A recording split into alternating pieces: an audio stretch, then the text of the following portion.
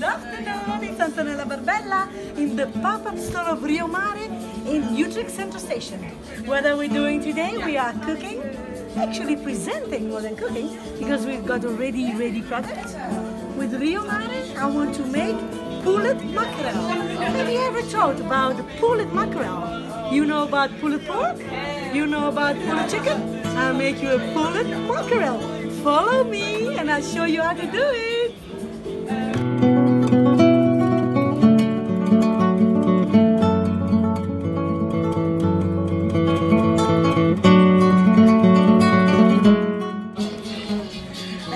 Now I want to show you what I made with pulled mackerel. Look, it's just a simple antipasto with mackerel, olives, dry tomatoes, artichoke, some pane carasau to give the crispiness, the tuna sauce, and what I like to add is this wonderful touch of red that will make some extra color, and I like to put it in the middle.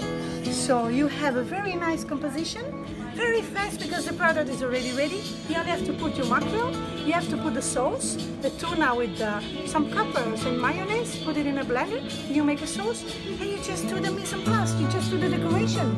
And what is it? Just un antipasto italiano con il mackerel di Rio Mare. Eh, buon appetito and have a good day!